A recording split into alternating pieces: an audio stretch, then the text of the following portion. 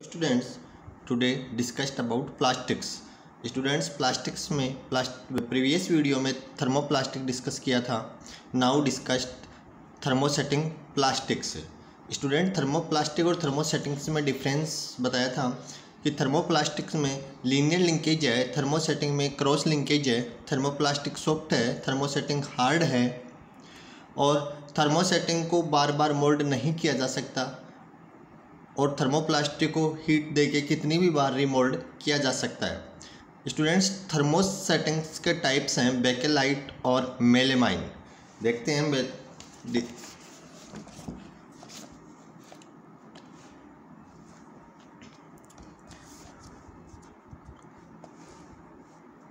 thermosetting plastics these are the plastics that can be molten and take a shape only once एक ही बार इसको shape दिया जा सकता है।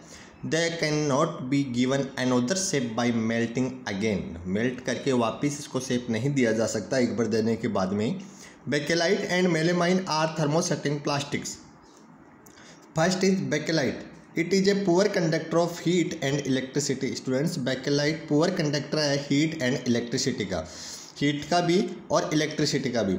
It is use for making electrical switches handles of various utensils plugs and other electrical fitting इनको use करने में, इनको सॉरी बैकेलाइट का यूज़ करके इलेक्ट्रिकल फिटिंग्स प्लग और यूटेंसिल्स के हैंडल ये बनाए जाते हैं क्योंकि ये इलेक्ट्रिसिटी का और हीट का दोनों का ही बेड कंडक्टर है, इसलिए बेकेलाइट का ये यूज़ है। ये प्लग्स बेकेलाइट से बनाए जाते हैं students melamine it is versatile material. It resist fire, can be tolerate heat better than other plastics. ये रेसिस्ट होता है फायर के प्रति। It use to making floor tiles kitchen ware fabrics which resist fire and table top students ये thermosettings के दो types हैं। Next देखते हैं general property of plastics general property of plastics में देखो students plastic is non reactive. Reactive नहीं होता है। Plastic is light, strong and durable. Light weight, strong होता है, ड्यूरेबल टिका हुआ लंबे चलने, लंबे समय तक चलने वाला। Plastic are poor conductor. Plastic are inflammable plastic are non biodegradable इनको डिटेल में देखते हैं।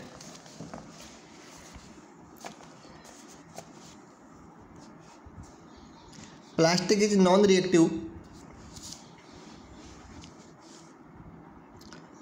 It does not react with water air और बाई एसिड्स बेस साल्ट और एनी alkali सोल्यूशन इन सब के के प्रति ये रिएक्टिव नहीं होता है। Due to this property plastic are use to store various kind of material and chemicals इस प्रॉपर्टी के कारण प्लास्टिक्स को कई तरह के केमिकल्स और मटेरियल्स को स्टोर करने में यूज़ किया जाता है। Plastic is light, strong and durable. Plastic is very light, strong, durable and can be molten into different shape and size. ये लाइट वेट होता है स्ट्रॉन्ग होता है ड्यूरेबल होता है और मोल्टेड इन डिफरेंट अलग अलग जैसी साइज़ चाहिए उसी साइज़ में इसको मोल्ट किया जा सकता है। They are use widely in industry and for household articles plastics are generally cheaper than metals metals के बजाय चीपर होता है और लाइट वेट भी होता है। Students plastic are poor conductor plastic are poor conductor of electricity they are use for insulation of electrical wire insulation जो electrical wire के ऊपर जो रबर का कवर होता है they are also poor conductor of feed so they are use to cover the handle of utensils and other kitchen and industrial application student जो अभी ये डिस्कस किया plastic are inflammable plastic catch fire easily when put over a flame और fire easily fire को catch करता है। Plastic are non biodegradable students सबसे harmful effect इसका ये ये प्लास्टिक का ये एनवायरनमेंट के प्रति हार्मफुल इफ़ेक्ट कोज करता है और एनिमल्स के लिए भी हार्मफुल होता है, क्योंकि ये नॉन बायोडिग्रेडेबल होता है। This is one of the drawbacks of use of plastics next है, कुछ मटेरियल्स हैं स्टूडेंट्स जिसके ऊपर लाइफ देखते हैं कि कितने दिनों में डिग्रेड होते हैं डिकम्पोज होते हैं। Types of waste peels of vegetable and fruit left over food stuff etc one to two weeks में ये डिकम्पोज होते हैं स्टूडेंट्स जैसे पील्स ऑफ़ वेजिटेबल्स के फ्रूट्स के, छिलके वगैरह होते हैं, ये वन टू टू वीक्स में डिकम्पोज होते हैं और बायोडिग्रेडेबल नेचर के होते हैं। नेक्स्ट आता है paper ten to thirty days biodegradable cotton clothes two to five months. Degrade होने में कॉटन्स के क्लॉथ्स हैं two to five months time लेते हैं। बायोडिग्रेडेबल हैं। Wood ten to fifty, fifteen year. Biodegradable. Woollen clothes about a year. लगभग एक साल बायोडिग्रेडेबल हैं। Tin aluminium and other metal cans hundred to five hundred year. Non biodegrade student ये long time लेते हैं डिग्रेड होने में, इसलिए नॉन बायोडिग्रेडेबल कैटेगरी में आते हैं। प्लास्टिक्स बैग सेवरल ईयर्स बहुत ज़्यादा समय कई साल लेते हैं डिग्रेड होने में और नॉन बायोडिग्रेडेबल इसीलिए प्लास्टिक का यूज़ कम करना चाहिए स्टूडेंट्स हो सके वहाँ तक इसको रिसाइकल करना चाहिए क्योंकि एनवायरनमेंट में डिग्रेड नहीं होता है और सॉइल पोल्यूशन भी कोज करता है। इसलिए ये नॉन बायोडिग्रेडेबल होता है। नेक्स्ट है students plastic and the environment plastics का एनवायरमेंट पे क्या इफ़ेक्ट होता है?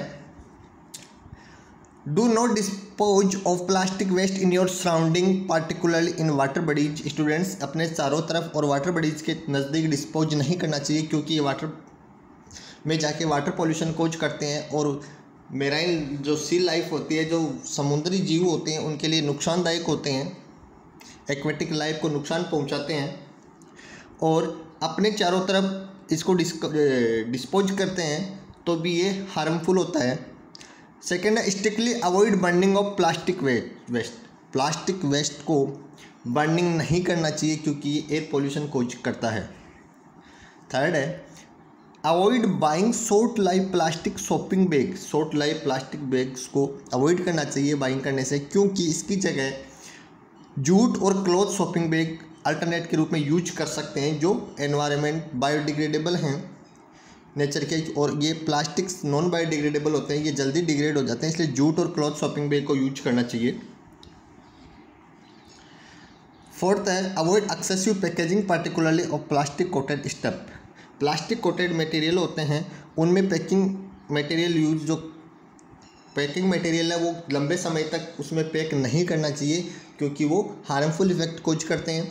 फिफ्थ है demand effective measure for recycling student plastic को हो सके वहाँ तक रिसाइकल करना चाहिए, क्योंकि उसको दोबारा रीयूज करके रिमोल्ड करके नया प्लास्टिक तैयार कर सके और एनवायरनमेंट को नुकसान भी नहीं हो।